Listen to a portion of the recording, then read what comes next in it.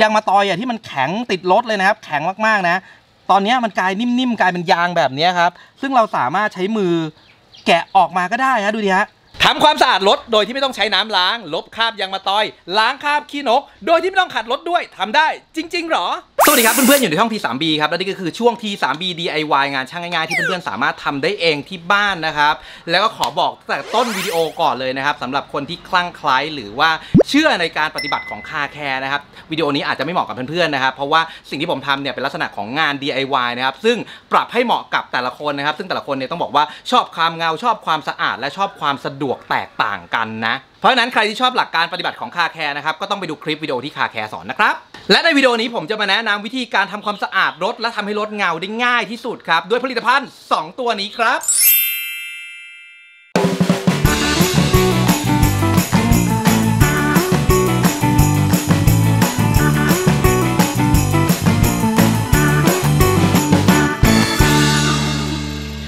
เช็ดออกได้เลยอะ สะดวกกว่า ผลิตภัณฑ์ที่ผมจะใช้วันนี้ครับก็คือน้ำยาทำความสะอาดโดยที่เราไม่ต้องล้างรถก่อนนะครับ จาก p o l i c e ครับ Deep Chai D66 แล้วก็ตัวนี้นะครับก็คือ Canuba Wax ครับ A 3 2 นะครับจาก p o l i c e เช่นกันนะครับ ซึ่งเขาก็ใส่ซองผ้ามานะครับ แล้วก็ในชุดเนี่ยนอกจากจะมีตัว Canuba Wax มานะครับ ก็จะมีฟองน้ำละเอียดมาให้เราด้วย ซึ่งตัวนี้เดี๋ยวเราจะใช้นะครับ หลังจากที่เราทดสอบน้ำยาทำความสะอาด Deep Chai D66 ไปแล้วครับ ซึ่งตอนนี้ที่ผมซื้อมาเป็นโปรโมชั่นเซ็ตคู่ครับแต่ราคา 898 บาทเนี่ยเขาลดเหลือ 599 บาทเท่านั้นเองนะส่วนคนที่อยากได้นะครับเดี๋ยวผมใส่ลิงก์ไว้ใต้คลิปวิดีโอนะครับ ซึ่งสามารถสั่งซื้อได้เลยนะครับ จากช่องทางของเว็บ smartcost.co.th ครับ อย่างที่ผมพูดไปตอนต้นนะครับว่าที่วันนี้เนี่ยมันเป็นน้ำยาตัวที่แหกกฎการทำความสะอาดรถที่เราเชื่อกันมาโดยทั่วไปพอสมควรครับ เพราะนั้นปกติเวลาเราทำความสะอาดรถนะเราก็จะหลีกเลี่ยงนะครับทรายหรือสิ่งต่างๆคราบต่าง ๆ ที่อยู่บนตัวรถนะครับ โดยการใช้น้ำล้างออกให้หมดนะครับ โดยที่ไม่ให้มีเศษทรายหรือเศษอะไรบนตัวรถเลยนะ หลังจากนั้นนะครับเราค่อยเริ่มเช็ดคราบนะครับ แล้วก็ไล่ layer ไปทำความสะอาดนะครับ โดยหลีกเลี่ยงการเอาผ้าไปถูบนคราบนะครับ แต่ว่าวันนี้เนี่ยผมจะลอง test กับน้ำยาตัวนี้นะครับ ที่เขาบอกว่าสามารถกำจัดได้คราบยางมะตอยคราบขี้นกนะครับคราบรอยน้ำนะครับ แล้วก็ใช้ได้กับหลายพื้นผิวนะ ไม่ว่าจะเป็นวัสดุยาง โครเมียม แผ่นไวนิลสติกเกอร์นะครับ แล้วเดี๋ยวจะลองกับหลังคาผ้าใบบนตัวรถผมด้วยนะครับ แล้วก็ที่สำคัญคือสามารถใช้กับพื้นผิวรถได้ตรงๆครับ ซึ่งน้ำยาตัวนี้นะครับเป็นน้ำยาที่นำเข้ามาจากอเมริกานะครับ ก็ดูจากข้างขวดตรงนี้ได้เลยนะ คือที่น่าสนใจครับน้ำยาตัวนี้เขาบอกว่าทำความสะอาดได้นะครับ แล้วก็ทำให้รถเงาขึ้นครับ โดยที่น้ำยาตัวนี้เนี่ยไม่ได้ผสมแว็กซ์ครับ แล้วก็ไม่ได้ผสมน้ำยาซักแห้งนะครับ แล้วก็ไม่มีความเป็นกรด ไม่มีความเป็นด่างครับเพราะน้ำยาตัวนี้ค่า pH อยู่ที่ 7 นะครับ มันคือค่าที่เป็นกลางครับ ดังนั้นเนี่ยเวลาเราใช้งานเนี่ย เวลาสัมผัสโดนมือนะครับ หรือว่าเวลากลิ่นมันเข้าไปนะครับ ซึ่งบอกเลยครับ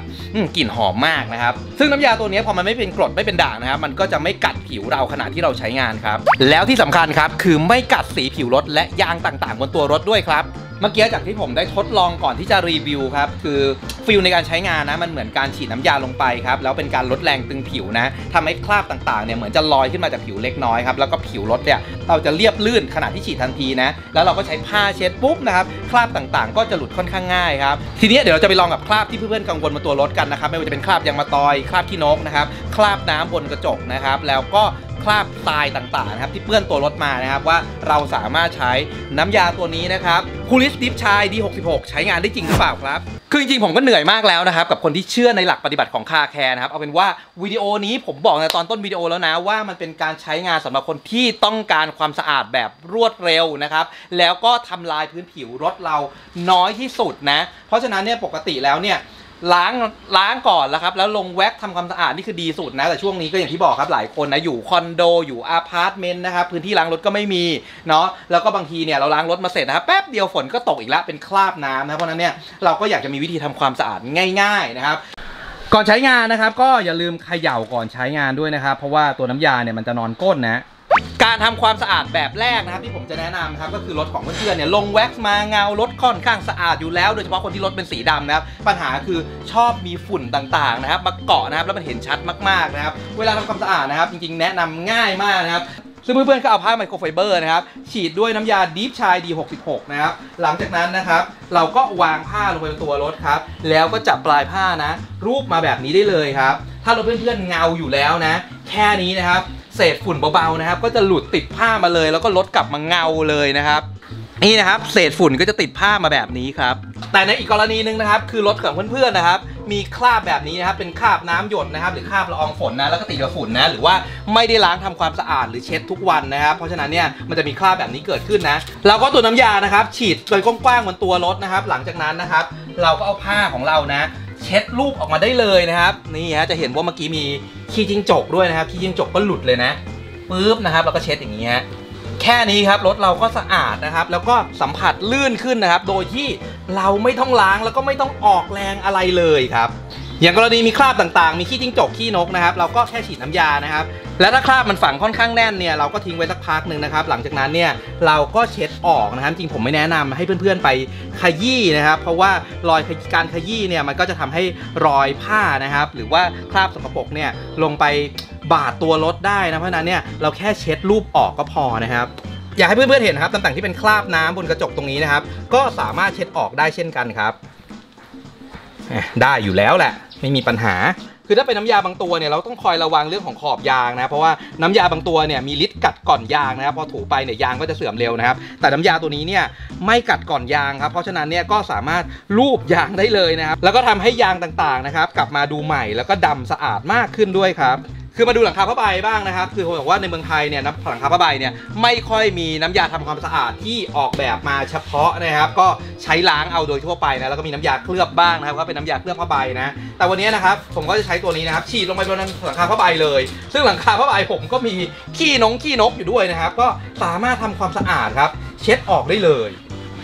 นี่ครับหลังคาผ้าใบก็กลับมาแบบโอ้เฮ้ยดำสวยเลยอะ อ้เมื่อกี้ที่มันด่างๆอยู่ครับ กลับมาดำมันสวยเลยครับวิดีจังอันนี้ชอบชอบนะฮะเห็นอันนี้ตรงนี้ผมขยี้ได้นะเพราะเป็นผ้าใบนะผมก็จะเน้นขยี้เอาคราบขี้นกออกด้วยครับนะครับเพื่อนๆดูครับฝั่งนั้นนะเป็นถังคาผ้าใบที่ผมยังไม่ได้เช็ดนะครับก็สังเกตว่ามันเป็นคราบทำที่ฝุ่นนะมันเป็นคราบน้ำที่แบบมันทำความสะอาดไม่ออกครับแต่ลองดูฝั่งนี้ครับ หลังจากเช็ดครับ มันกลับมาเสมอกันเหมือนเดิมครับอันทีนี้เดี๋ยวผมจะลองขยี้เอา คราบขี้นกนะครับ ที่มันฝังอยู่บนหลังคาผ้าใบผมออกด้วยนะอะนี่นะครับ ขยี้ดูนะครับฮึบฮึบออกไหมออกไหมโอ้ก็จางลงฮะจางลงจางลงเรื่อยๆครับ นี่อาจจะต้องทิ้งน้ำยาไว้แป๊บหนึ่งอันนี้มันฝังอยู่ลึกนานมากครับ ล้างไม่ออกนะจริงๆตอนแรกนี่แบบ ใช้น้ำยาล้างรถก็ล้างไม่ออกครับ นี่ฮะหมดไปแล้วครับ หายไปแล้วเฮ้ยใช้ได้ ตอนแรกว่าจะแค่ทำรีวิวให้ดู ตอนนี้รู้สึกว่ามันใช้ได้ดีมากครับ ขอทำความสะอาดรถไปด้วยเลยทั้งคันแล้วกันนะครับ โอ้ยหลังคาผ้าใบนี่ เป็นคราบมานานมากนะไม่รู้จะทำเอาออกยังไงนี่คือ ตัวนี้เวิร์คครับเอาออกได้จริงๆฮะปกติอะผมตรงที่เป็นคราบอะผมก็จะใช้น้ำยาขัดละเอียดเนาะหรือไม่ก็ดินน้ำมันนะครับ ในการเอาคราบออกครับ แต่ว่าน้ำยาตัวเนี้ยเช็ดออกได้เลยอะ สะดวกกว่า ตรงนี้นะครับเป็นตำแหน่งที่เป็นสีดำนะครับแล้วก็เปิดเกิดรอยง่ายมากที่สุดบนตัวรถนะครับ เพราะว่ามันเป็นรอยมันเป็นสีดำอะนะเวลาเช็ดไปหรืออะไรอย่างเงี้ยมันก็เป็นรอยง่ายนะครับก็ใช้น้ำยาตัวนี้เช็ดลงไปนะครับ เช็ดลงไปเลยเนาะ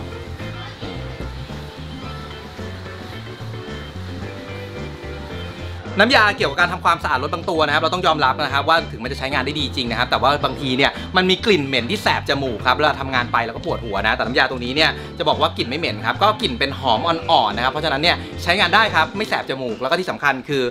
ไม่กัดมือด้วยครับ คือผมเป็นคนที่ผิวแพ้ง่ายมากๆครับ ปกติเนี่ยเวลาทำความสะอาดรถนะครับในน้ำยาขัดรถเนี่ยผมจะคันมือครับ แล้วผิวก็จะแห้งนะครับ ลอกเป็นขุยๆครับ แต่น้ำยาตรงนี้เนี่ยพอโดนมือแล้วนะครับ ก็ไม่คันนะครับ แล้วก็มือไม่มีปัญหาอะไรนะ แล้วก็ตำแหน่งอื่นๆนะครับที่เป็นโลหะนะครับหรือว่าโครเมียมนะก็สามารถใช้ทำความสะอาดได้ด้วยนะครับ อย่างที่เคยบอกไปนะน้ำยาบางตัวเนี่ยเราก็ต้องหลีกเลี่ยงโครเมียมครับแต่ตัวนี้เนี่ยสามารถใช้งานกับโครเมียมได้ครับ ตรงคาร์บอนเคฟล่านะครับก็สามารถใช้งานได้ครับพูดง่ายครับเราฉีดไปทีเดียวเนี่ยเราสามารถเช็ดได้หมดทุกจุดเลยโดยที่เราไม่ต้องคอยไประวังอะว่าน้ำยาตัวนี้มันจะไปโดนตรงไหนที่โดนไม่ได้หรือเปล่านะครับ มันทำความสะอาดได้ทั่วจริง ๆ ครับ บางคนบอกว่าน้ำยาพวกนี้เช็ดแล้วแค่รถสะอาดนะครับไม่ได้เงาขึ้นจริง ๆ หรอกนะครับ ต้องบอกว่าทฤษฎีความเงานะครับน้ำยาอะไรก็ตามนะครับมันเป็นตัวช่วยเคลือบนะครับทำให้ผิวรถของเรานะครับที่มีความเรียบอยู่แล้วนะครับเกิดการสะท้อนแสงหรือเกิด layer เพิ่มมากขึ้นนะดังนั้นเนี่ยรถจะเงามากเงาน้อยนะครับอยู่ที่ตัวพื้นผิวของรถด้วย ถ้ารถของคุณไม่มีรอยนะครับเป็นรถที่ดูแลมาอย่างดีนะเพราะฉะนั้นเนี่ยลงน้ำยาไปยังไงก็เงานะครับจะให้ดูนะสำหรับคนที่ไปหุ้มรถด้วยคาร์บอน Kevlar แบบสติกเกอร์มานะครับก็ ใช้น้ำยาตัวนี้นะอะทำความสะอาดนะครับ เนี่ยครับก็จะกลับมาใหม่แบบนี้เลยครับ นี่เห็นไหมแบบนี้เลยอะตรงที่เป็นขอบพลาสติกนะครับ พอเช็ดแล้วก็ดำเงาด้วยนะ เหมือนพวกน้ำยาเคลือบพลาสติกเลยนะครับ ก็เนี่ยครับจบในขวดเดียวเลยจริงๆ เช็ดทั้งคันเสร็จแล้วนะครับ ก็จะสะอาดประมาณนี้นะครับที่เพื่อนๆเห็นนะครับ ก็ดูสะอาดแล้วก็ดูเงามากขึ้นนะครับ แต่ว่า ค่นี้ยังไม่พอนะครับ เดี๋ยวเราไปทดสอบแบบหนักๆนะครับกับคราบลึกๆนะครับของรถผมอีกคันหนึงกันครับอะเรามาทดสอบกับรถคันนี้นะครับรถคันนี้เป็นรถที่ผมใช้ประจำนะครับแล้วก็จอดอยู่นอกบ้านนะเพราะฉะนั้นเนี่ยมันจะโดนฝุ่นโดนลมนะครับมีคราบขี้นกนะครับแล้วช่วงเนี้ยหน้าบ้านผมเนี่ยเขาทำถนนยางมะตอยใหม่นะครับก็จะมียางมะตอยกระเด็นติดรถด้วยนะครับทีเนี้ยเรามาลองจากคราบขี้นกกันก่อนเลยคราบขี้นกที่มันโดนมานานแล้วเนี่ยครับมันจะมีคราบฝังลงไปในเนื้อสีนะซึ่งแม้กระทั่งการ ขัดลบรอยนะครับด้วยขนแกะนะครับบางทียังเอาไม่ออกเลยนะเพราะฉะนั้นเนี่ยเวลาเราโดนคราบขี้นกนะครับ เราควรจะรีบทำความสะอาดมันก่อนที่จะเกิดกะรอยฝังแน่นข้างในครับฉีดน้ำยาลงไปแล้วนะครับ แล้วก็ผมจะทิ้งไว้สักพักนะครับ แล้วก็รูปออกครับ ซึ่ง โอ้รูปออกง่ายมากครับ แล้วก็ผิวรถก็ลื่นนะครับ แต่ว่าจริงๆแล้วถ้าค่าบมันแข็งมากแบบเมื่อกี้นะที่ผมวางไว้นะครับ ก็อาจจะทิ้งไว้นานสักนิดนึงนะครับ เราจะใช้แค่การรูปออกเบาๆนะฮะสังเกตว่ารอยคราบขี้นกเนี่ยหายไปแล้วนะครับ แต่ว่าเพื่อนๆดูดีๆนะครับ มันจะทิ้งคราบไว้อย่างนี้นิดนึงนะครับ ซึ่งคราบตรงนี้เนี่ยเกิดจากการที่เราทิ้งไว้นานเกินไปนะครับ แล้วตัวยางไม้ที่อยู่ในขี้นกนะครับ มันก็ลงไปในเนื้อสีแล้วนะ ถ้ากรณีนี้เราอาจจะต้องใช้น้ำยาขัดละเอียดนะครับ ขัด เอาตัวขี้นกออกนะครับ แต่ว่าในกรณีที่ถ้าเกิดเพื่อนๆเพิ่งโดนขี้นกมาเลยนะ ให้รีบเช็ดนะครับ จะไม่มีคราบแบบนี้เกิดขึ้นครับ ก็จะมีคราบเนี่ยครับคราบทรายคราบโคลนอย่างนี้นะ ที่ติดอยู่ตามซุ้มล้อนะครับ ซึ่งถ้าอยู่ๆเราเอาน้ำนะครับ หรือว่าเอาผ้าเปียกๆไปเช็ดเนี่ยแน่นอนครับว่าคราบทรายพวกนี้มันก็จะขูดสีของรถนะครับทำให้รถของเราเนี่ยเป็นรอยได้ง่ายนะครับ แต่ว่าผมจะลองเอาน้ำยาตัวนี้นะครับพรมดูให้ทั่วนะครับ ซึ่งอันเนี้ยมันเป็นคราบที่โครนธรรมดานะครับ แต่ว่าด้านล่างที่เพื่อนๆเห็นเนี่ย อันนี้คือคราบยางมะตอยนะครับ ซึ่งติดมานานเป็นเดือนแล้วครับ ตรงที่เป็นคราบขี้โคลนนะครับ ผมก็จะเอาผ้าสะอาดนะครับ แค่ลูบออกครั้งเดียวแบบนี้นะครับ ก็จะเหลือคราบยางมะตอยฝังแน่นครับ ซึ่งอันนี้บอกเลยว่าแน่นมากนะครับ แล้วก็มีสะเก็ดเล็ก ๆ นะครับ ผมก็จะทิ้งไว้สักพักหนึ่งก่อนนะครับ แล้วเดี๋ยวค่อยมาเอาออกทีเนี้ยผมจะลองเช็ดดูนะครับเฮ้ยจะบอกว่านี่ครับให้เพื่อนๆดูนะยางมะตอยอะที่มันแข็งติดรถเลยนะครับ แข็งมากๆนะ ตอนนี้มันกลายนิ่มๆกลายเป็นยางแบบนี้ครับ ซึ่งเราสามารถใช้มือ แกะออกมาก็ได้ฮะดูดิฮะเนี่ยครับมันนิ่มๆกลายเป็นยางแบบนี้เลยครับ แล้วก็ละลายนะนี่อะเพราะนั้นแปลว่าถ้ามันเยอะๆเนี่ยเราต้องทิ้งไว้นานกว่านี้เนาะทิ้งอันนี้คือทิ้งไว้ 10 นาทีนะครับถ้าทิ้งไว้นานๆก็ยิ่งเช็ดง่ายนะแบบว่าถ้าเรามีรอยยิ่งหนาครับ เราก็ต้องชิงน้ำยาไว้นานขึ้นครับเห็นไหมสำหรับคาบยางมาตอยฝั่งแน่นเนี่ยเราจำเป็นต้องขยี้ครับเพราะว่ามันติดแน่นมากนะครับ แต่ว่าก็ขยี้กันอย่างระมัดระวังแล้วกันนะครับ ตรงที่ว่าเวลาที่ต่อให้เราถูยังไงเนี่ย ตัวน้ำยาเนี่ยมันก็จะไม่ทำการขัดสีรถออกไปด้วยครับซึ่งปกติแล้วถ้าเป็นน้ำยาขัดละเอียดขัดหยาบเนี่ยก็พอเราถูเสร็จใช่ไหมมันก็จะเกิดรอยด่าง ตรงนี้นะครับเป็นรอยที่เราถูเป็นรอยผ้านะแต่น้ำยา D66 เนี่ยไม่ทิ้งรอยคราบหรือรอยถูของผ้าไว้ตรงนี้เลยนะครับพื้นผิวสติกเกอร์เนี่ยบอกเลยนะครับว่าจริง ๆ ยุ่งยากมากๆยิ่งกว่าสีรถอีกนะ ทีนี้ปัญหาคือบางครั้งเนี่ยเราขัดสีรถครับหรือว่าเราลงแว็กนะแล้วคราบแว็กเนี่ยมันก็มาติดอยู่ที่ข้างๆสติกเกอร์นะครับเดี๋ยวจะให้ดูนะครับเป็นรอยแบบนี้นะ เห็นไหมครับ มันจะเป็นคราบขาวๆอยู่แบบนี้นะครับ ซึ่งปกติแล้วเนี่ย มันก็เอาออกค่อนข้างลำบากครับ เพราะนั้นเนี่ยน้ำยาตัวนี้เนี่ยครับผมก็สามารถใช้ทำความสะอาดคราบน้ำยานะครับที่มันเคยติดอยู่บนสติกเกอร์นะครับหรือว่ารถที่เคลือบสติกเกอร์ทั้งคันนะอยากทำความสะอาดนะ ใช้แบบนี้ได้เลยนะครับ นี่นะครับสำหรับรถที่เป็นสติกเกอร์ด้านนะก็จะกลับมาด้านสวยงามเหมือนเดิมเลยโอ้โหที่เช็ดไม่ออกแล้วนะครับ แล้วก็ติดอยู่บนสติกเกอร์นะครับเนี่ยผมใช้น้ำยาตัวเนี้ยเนาะสำหรับการเช็ดครับ เห็นไหมกลับมาใหม่เอี่ยมกิ๊บเลยครับ ตอนนี้ โอ้สำหรับรถที่แรปสติกเกอร์นะครับ น้ำยาตัวนี้ใช้ได้เหมือนกันครับ คือจะบอกว่าน้ำยาดิฟชายดี66 เนี่ยครับ ถ้าซื้อแยกเป็นขวดแบบนี้นะครับ ราคา 299 ครับ ซึ่งตอนนี้ผมซื้อมาในเซ็ตโปรโมชั่นนะครับ ก็คือถ้าซื้อแว็กแบบนี้นะครับ A32 กระป๋องเดียวก็ 599 นะครับ แต่ตอนนี้ ทางเพจเขาจับคู่กันนะครับ เพราะฉะนั้นเนี่ยราคาทั้งหมดเนี่ยแค่ 599 นะครับ ก็คุ้มค่ากว่าครับพูดง่ายครับคือซื้อแว็กซ์ดีๆนะครับ แล้วก็ได้น้ำยาตัวนี้มาทดลองใช้ด้วยนั่นเองนะครับหลังจากเราทำความสะอาดรถเราจนพอใจนะครับ ถ้าใครอยากได้ความเงาฉ่ำเงาลึกนะครับ ก็แนะนำให้ลงแว็กซ์นะครับ หลายคนก็บอกว่ามีแว็กซ์ไหนดีบ้างนะครับ แว็กซ์น้ำแว็กซ์ขี้ผึ้งนะครับ หรือเคลือบแก้วอันไหนเงากว่ากันนะ คือแหมไม่อยากไปเปรียบเทียบเลยเพราะจริงๆอะมันอยู่ที่การทำงานของเรานะครับถ้าเราทำงานแบบกับรถเรานะครับดีที่สุดนะยังไงมันก็เงานะ แล้วก็การลงแว็กซ์นะต่อให้มันเป็นแว็กซ์น้ำนะ เราก็สามารถลงซ้ำหลาย ๆ รอบได้นะครับ การลงซ้ำหลาย ๆ รอบ ก็คือเพิ่มความหนาของชั้นแว็กซ์ ซึ่งแว็กหลักๆนะครับก็มีอยู่ 2 ประเภทนะครับก็คือแว็กที่เป็นแบบครีมแบบน้ำนะครับกับแว็กที่เป็นขี้ผึ้งแบบนี้นะครับซึ่งถ้าถามผมนะก็ใช้งานแตกต่างกันนะครับแว็กแบบน้ำเนี่ยก็สะดวกกว่านะครับใช้ประหยัดกว่า แล้วก็เวลาลงน้ำยาเนี่ยค่อนข้างจะทำความสะอาดง่ายครับแล้วก็ใช้กับพวกเครื่องลงน้ำยาได้นะอย่างเครื่อง DA อย่างเงี้ยนะครับก็สามารถเอามาใช้ได้นะหรือบางคนมีแบบพวกฟองน้ำขัดแบบสั่นๆอะไรแบบนี้นะครับที่เป็น DA ไฟฟ้านะก็เอามาใช้ลงน้ำยาเก็บน้ำยาได้ค่อนข้างง่ายนะส่วนน้ำยาที่เป็นแบบ ขี้ผึ้งแบบนี้นะครับอาจจะยุ่งยากกว่าซะหน่อยนะครับเพราะว่าจริง ๆ แล้วควรลงด้วยมือนะครับซึ่งในชุดนะครับเขาก็แถมฟองน้ำมาให้แบบนี้นะครับเราเรียกว่าฟองน้ำละเอียดสำหรับลงแว็กนะไม่ควรใช้ฟองน้ำหยาบในการลงแว็กนะครับ ก็จริง ๆ ก็ไม่รู้เหมือนกันว่าทำไมนะ ซึ่งการใช้ฟองน้ำละเอียดนะครับ ก็ได้เนื้อเต็มกว่านะครับ แล้วก็ไม่สิ้นเปลืองนะครับ แล้วก็จริง ๆ การลงแว็กนะ ผมแนะนำว่าอย่าไปลงทีเดียวหนาๆนะครับ ให้ลงบางๆนะครับ แบบเป็นคราบแบบติดบางๆบนตัวรถก็พอนะ แล้วลงแล้วเช็ดแล้วลงใหม่นะครับ แบบนี้จะได้ประสิทธิภาพในความหนามากกว่านะครับ การที่เราลงน้ำยาโปะไปเลยหนาๆทีเดียวนะครับ แล้วปล่อยน้ำยาแห้ง แล้วก็ไปเช็ดเช็ดๆออกนะครับ แบบนั้นเนี่ยจริง ๆ แล้วก็ได้น้ำยาเท่ากับลงน้ำยาบางชั้นเดียวเหมือนเดิมครับ ทีนี้ส่วนผสมของแว็กซ์นะครับก็มักจะมีนะครับ synthetic กับ carnauba นะครับเป็นหลักๆเลยอย่างหรือบางยี่ห้ออาจจะเอา synthetic กับ carnauba มาผสมกันนะครับหรืออาจจะมีน้ำยาอื่นๆนะครับเพราะเดี๋ยวนี้มันเทคโนโลยีมันเยอะนะ ส่วนวงการรถที่นิยมกันนะครับ ถามว่าตัวไหนที่ทำให้เกิดความเงาฉ่ำเงาลึกมากที่สุดนะครับ ก็แน่นอนนะครับคนจะตอบว่า carnauba นะครับโดยเฉพาะแบบขี้ผึ้งเนี่ยให้ความเงาฉ่ำเงาลึกมากที่สุดนะครับ ซึ่ง ก็ต้องพูดถึงข้อเสียด้วยนะครับ นอกจากข้อเสียจะใช้ยากแล้วนะครับ แน่นอนครับ คานูบ้ามันเป็นขี้ผึ้งธรรมชาตินะครับ มันจะแตกต่างกับพวกเคลือบแก้วหรือซินเทติกนะครับ ที่สามารถเกาะอยู่บนตัวรถได้นานๆ เนาะ ทีเนี้ยถ้าเป็นตัวขี้ผึ้งธรรมชาตินะครับ เวลาโดนแดด โดนน้ำโดนฝนนะครับ ก็สักประมาณ 2-3 สัปดาห์นะครับ มันก็จะเริ่มจืดจางลงนะครับ เพราะฉะนั้นเนี่ย การลงน้ำยาพวกคานูบ้าเนี่ยก็อาจจะต้องลงบ่อยนิดนึงนะครับ แล้วก็จริง ๆ ส่วนตัวนะ อันเนี้ยผมยังไม่ได้ลองกับน้ำยาตัวนี้นะครับ ไม่แนะนำให้ทำบนรถ สีขาวนะครับเพราะว่าตัวเนื้อ carnauba เนี่ยจริงๆมันไม่ได้ฝังลงไปบนสีรถหรอก แต่การเคลือบซ้ำนะครับมันเกิด layer ขึ้น แล้วก็ตัวน้ำตัวครีมเนี่ยนะครับหรือว่าตัว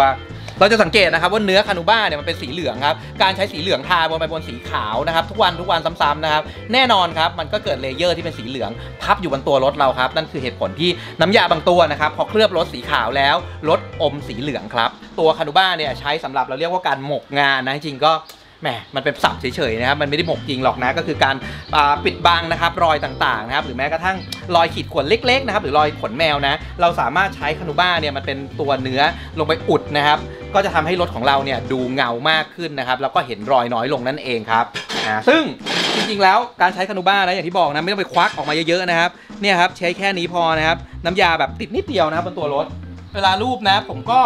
มักจะรูปเป็นวงกลมแบบนี้นะครับ ก็คือจริงๆ เพื่อความทั่วครับนะก็วนไปก้นหอยแบบนี้นะครับ ไม่ต้องออกแรงกดไม่ต้องขัดอะไรเลยนะนะครับรูปไปเรื่อยๆนะครับ แล้วก็มองลายน้ำยานะครับ ว่าน้ำยาของเราเนี่ยไปทั่วชิ้นงานหรือยังนะครับ ถ้าตรงไหนไม่ทั่วนะ เราก็ปาดได้นะเราก็ไม่ซีเรียสว่าจะต้องวนตลอดนะครับเนี่ยบางจุดนะเป็นขอบกระจกเป็นขอบไฟนะครับเราก็ปาดล้อมอย่างนี้ก็ได้นะมันไม่จำเป็นจะต้องไปแบบอย่างนี้อย่างนี้นะครับ แล้วก็จริงๆส่วนที่เป็นไฟนะครับ เราก็สามารถเคลือบทับไปได้เลยนะครับ เพราะว่าน้ำยาที่เคลือบไปเนี่ยพอเช็ดออกมันก็จะเป็นฟิล์มบางๆนะครับแล้วที่สำคัญคือพอเคลือบคานูบ้าแล้วเนี่ยน้ำมันก็จะติดรถติดไฟต่างๆ น้อยลงด้วยนะครับสำหรับผมนะครับการทาน้ำยาลงไปฟองน้ำหนึ่งครั้งครับก็จะทำได้ 1 ชิ้นแบบนี้นะครับหนึ่งชิ้นก็คืออย่างแก้มอย่างเงี้ยเรียกว่า 1 ชิ้นนะครับฝากระโปรงเรียก 1 ชิ้นนะครับกันชนหน้าเรียก 1 ชิ้นนะครับเพราะนั้นป้ายน้ำยา 1 ครั้งนะครับเราก็ใช้งานกับรถได้ 1 ชิ้นครับ ทีนี้บางคนนะครับก็จะสอนว่าเวลาที่เราลงแว็กซ์นะครับหรือลงน้ำยาต่างๆเนี่ยควรเอาเทปมาปิดตรงรอยต่างๆนะที่เป็นรอยต่อของรถด้วยนะครับ ซึ่งถามว่าทำแล้วดีไหมดีนะครับ เพราะว่าเวลาทำความสะอาดหรือเวลาเช็ดเนี่ยมันจะไม่มีคราบน้ำยาแห้งอยู่ในนี้นะครับ ซึ่งถ้าคราบน้ำยามันแห้งอยู่ในนี้การทำความสะอาดจะค่อนข้าง ยากนะ ต้องบอกว่ายากนะ แต่ทำความสะอาดได้นะครับเพราะมันเป็นแค่แว็กนะ แต่ถ้ารถเราเองทำที่บ้านนะครับก็แล้วแต่นะอันนี้แล้วแต่ถนัดนะครับ ซึ่งผมก็จะไม่ปิดนะเพราะว่าผมรู้สึกว่าการแปะเทปเนี่ยมันเสียเวลาครับการแค่เราลงแว็กซ์นะครับเราก็ถ้าเราไม่อยากให้มันลงครับเราก็เลี่ยงนะครับ หรือว่าเราก็เอาฟองน้ำนะครับใส่ลงไปในร่องนะครับแล้วก็รูดออกแบบนี้นะหรือใช้ไมโครผ้าไมโครไฟเบอร์เนี่ยตอนเช็ดรูดคราบน้ำยาออกก็ได้นะครับ ใช้ได้เหมือนกันนะครับ อันนี้แล้วแต่ถนัดเลยนะ เพื่อนๆสังเกตนะครับผมไม่ได้ลงแว็กซ์หนาเลยนะครับผมจะลงบางๆนะครับ เท่านั้นเองนะเพราะว่าตอนเช็ดเนี่ยจะได้เช็ดง่ายด้วยนะครับ แต่ว่าเดี๋ยวเรามาทดสอบกันนะครับว่าน้ำยาตัวนี้จะเช็ดง่ายหรือเปล่านะครับ ส่วนใหญ่น้ำยาที่เกรดดีๆนะครับจะทำให้เราเช็ดง่ายครับซึ่งตอนนี้นะครับผมทิ้งไปประมาณ 15 นาทีครับขี้ผึ้งก็แห้งบนตัวรถเรียบร้อยนะครับถ้าเพื่อนๆไม่มั่นใจนะครับว่าตัวขี้ผึ้งเนี่ยมันแห้งพอจะเช็ดออกได้หรือยังนะครับ เราก็สามารถใช้นิ้วนะครับ ลองลูบออกดูนะครับ ถ้าลูบออกแล้วนะครับ มันมีคราบขี้ผึ้งติดอยู่ที่มือเรานะครับ แล้วก็ที่รถเนี่ยไม่ทิ้งคราบเป็นคราบน้ำมันแล้วนะครับแบบนี้ก็ถือว่าเช็ดได้ฮะอย่างไรก็ตามนะครับในการเช็ดรถนะครับ ผมแนะนำให้ใช้ผ้าไมโครไฟเบอร์แบบนี้ดีกว่านะครับ อย่าไปใช้เสื้อยืดนะครับ หรือว่าผ้าธรรมดานะครับ เพราะว่าเนื้อผ้าธรรมดาเนี่ยจะทำให้รถของเราเนี่ยเป็นรอยได้ง่ายครับ ซึ่งในการเช็ดแว็กซ์นะครับหรือ carnauba wax นะครับหรือว่าน้ำยาชนิดอื่นๆนะครับเพื่อนๆก็สามารถใช้ผ้าไมโครไฟเบอร์นะครับเช็ดได้เลยนะมันไม่จำเป็นจะต้องเช็ดเป็นวงกลมแบบนี้นะครับให้เราลูบออกนะครับลูบน้ำยาออกแบบนี้เลยนะครับเนี่ยถ้าน้ำยาค่อนข้างคุณภาพดีเนี่ยมันจะไม่ค่อยเหนียวครับเวลาแห้งเสร็จแล้วเนี่ยมันจะค่อนข้างเช็ดง่ายนะครับ เราจะไม่ต้องออกแรงเยอะครับ แต่ว่าถ้าจากที่เคยลองใช้อะนะอะถ้าน้ำยาที่แบบคุณภาพแบบ ดีน้อยหน่อยนะครับ เอางี้แล้วกันนะ ก็จะต้องออกแรงถูถูถูถูนะครับ ซึ่งนั่นแหละครับ ตอนที่หูเนี่ย มันก็จะกลับมาเกิดรอยอีกนั่นแหละนะ ตัวแว็กคานูบ้าเนี่ยจริงๆมีหลายเกรดนะครับ แต่ตัวนี้จะเป็นเกรดพรีเมียมครับ ซึ่งของพูริสเนี่ยเขาก็นำเข้ามาจากบราซิลนะ และที่สำคัญคือจากที่ผมดูแล้วเนี่ย มันไม่มีส่วนผสมของสารก่อมะเร็งครับ จุดแข็งของคานูบ้าเนี่ยคือเงาฉ่ำเงาลึกครับ แต่ว่าจุดอ่อนของคานูบ้าครับ ปกติคือจะไม่ทนกับแชมพูล้างรถนะครับ หรือว่าพวกน้ำยาล้างรถต่างๆนะ แต่ว่าตัวนี้ยเขาก็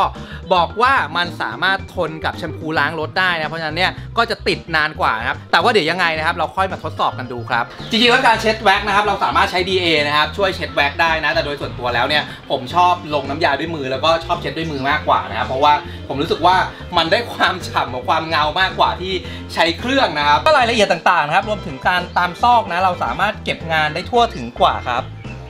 แน่นอนนะครับเพราะการลงแว็กซ์เนี่ยจะทำให้รถของเราครับดูเงาดูฉ่ำมากขึ้นนะครับเพราะว่าแว็กซ์เนี่ยจะสร้างชั้นฟิล์มบางๆนะครับที่อยู่บนผิวรถเราครับสำหรับคนที่ชอบรถเงาแบบฉ่ำๆนะครับหรือเงาลึกๆนะก็สามารถเคลือบ carnauba ไปหลาย ๆ รอบได้นะครับ ซึ่งแต่ละรอบเนี่ยก็จะสร้างชั้นฟิล์มบางๆ ซ้อนกันไปเรื่อยครับรถเราก็จะดูหนาดูมี layer ขึ้นนะครับ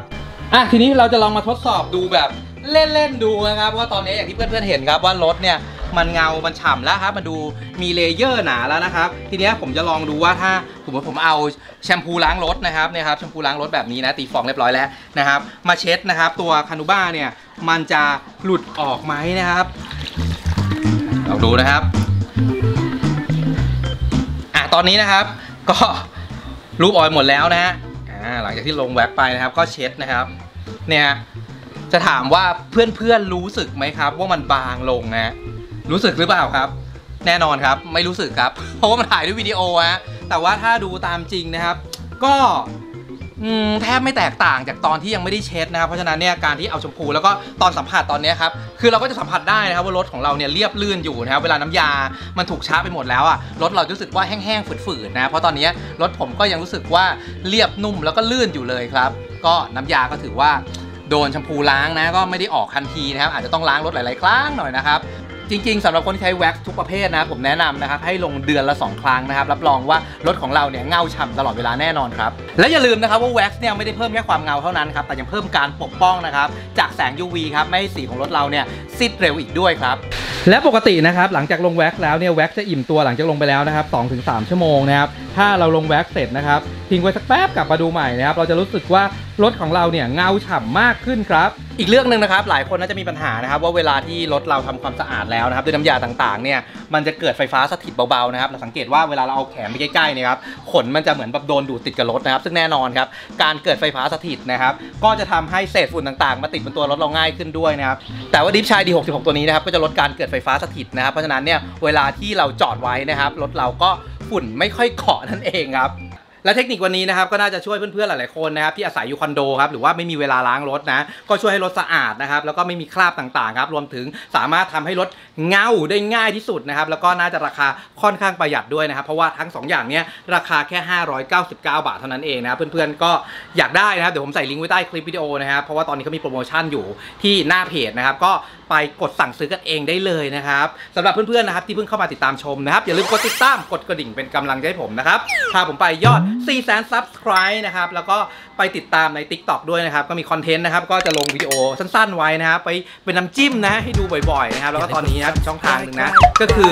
Line Official นะครับ ก็ไปติดตามกันได้นะครับตรงนั้นก็จะลงวิดีโอสลับตอนสั้นตอนยาวนะครับ ของทั้ง TikTok ใน YouTube นะครับ ก็ไปติดตามชมกันได้เลยนะครับ วันนี้ไปก่อนนะครับบ๊ายบายด้วยนะครับไม่น่าจะมีดราม่าแล้ว